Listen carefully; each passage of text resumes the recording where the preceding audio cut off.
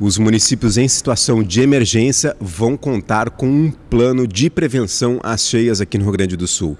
Quem fala sobre isso agora é o secretário do Gabinete dos Prefeitos, secretário Jorge Branco. Muito bom dia, secretário. Bom dia. Secretário, o que ficou definido nessa reunião de ontem, né, onde o senhor esteve presente, outros secretários de Estado e também os prefeitos da Fronteira Oeste? Bom, nós fizemos a primeira de quatro eh, reuniões regionalizadas, Fronteira Oeste, nosso noroeste do estado, norte e a região centro, onde nós iniciamos a conversa com os prefeitos sobre agora já medidas de prevenção a novas cheias, né?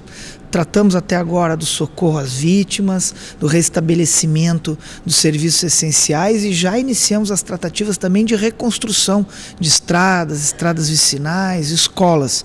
Mas também não podemos perder tempo e iniciamos agora a discussão de medidas de prevenção à cheia, que são ações mais demoradas, que exigem planejamento e por isso mesmo está na hora de começar a tratar delas. Agora, quando começa a, na verdade, ser estruturado esse plano de prevenção? Bom, na fronteira oeste nós marcamos agora para Uruguaiana na segunda-feira agora próxima, se eu não me engano, dia 4, já uma reunião na região lá, portanto, onde nós vamos reunir ah, as universidades da região, Coredes, os prefeitos, as prefeituras e junto com vários órgãos do governo do estado nós vamos apreciar os planos e projetos ou estudos de viabilidade que a região já tenha sobre o tema de contenção das cheias, DICs, macrodrenagem, como também de habitação, que é um dos temas mais relevantes quando a gente fala de cheias. Agora, essas medidas aí, como, uh, por exemplo, uh, conter o avanço aí do, do rio Uruguai, que é um dos rios que mais preocupa ali na região, são medidas que devem ser colocadas em prática já no final do ano, no início do ano que vem? Nós, nós, essas são medidas que exigem obras e projetos volumosos. Portanto, nós vamos iniciar agora a, a, conversa entre nós, vamos levar ao governo federal e buscaremos recursos junto ao PAC, ao Ministério do Planejamento, para essas obras, que são obras de alguns anos e que envolvem muitos eh, recursos financeiros. Quantos municípios devem estar envolvidos aí nessa, nesse plano de prevenção às cheias? Nós queremos envolver todos os municípios atingidos, são ao todo quase 170 municípios, mas, mas com foco uh, principal nos municípios em situação de emergência, coisas são 133. Por isso nós regionalizamos fronteira oeste, noroeste, norte e centro, para que a gente possa fazer de forma agrupada, regionalizada, soluções que sejam de comum, intervenções comuns aos municípios, para que a gente tenha sucesso na captação desses recursos. E hoje qual é a situação mais crítica, secretário? A, a, situação crítica ainda é a fronteira oeste uruguaiana. Hoje nós ainda temos 2 mil pessoas desabrigadas ou desalojadas, 90% delas em Uruguaiana. Mas também São Borja e Itaqui ainda sofrem de forma mais forte hoje com a situação das cheias. O senhor disse que para implantar essas medidas são necessários aí recursos do PAC, recursos do Estado, mas os municípios também terão a sua parte. Né? Terão sua parte. Os municípios é, já investiram.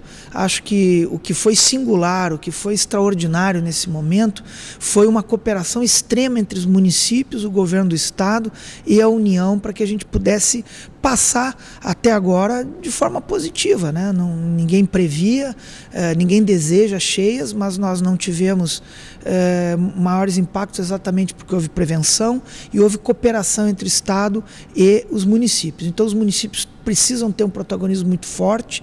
Vários deles têm já ideias, projetos, alguma, algum estudo de viabilidade que serão com certeza aproveitados. E também a outra coisa que, que eu queria destacar é, é que até agora também os resultados foram positivos pela mobilização da comunidade, da, da, do povo das nossas cidades, que teve um envolvimento fortíssimo no primeiro momento no socorro às vítimas e que nós vamos continuar contando com a participação da comunidade. Esse plano de prevenção às enchentes, ele é pioneiro aqui na região sul? É, na forma que nós vamos tratar numa ação direta do Estado com os municípios, sim.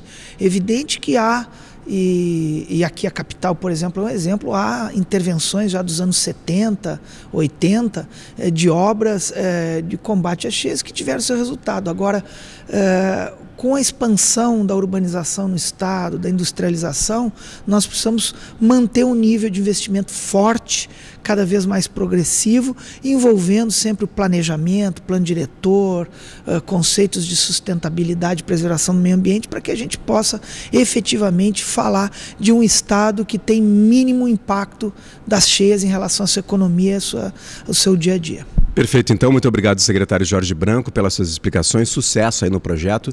E nós voltamos agora com a Carla. Okay.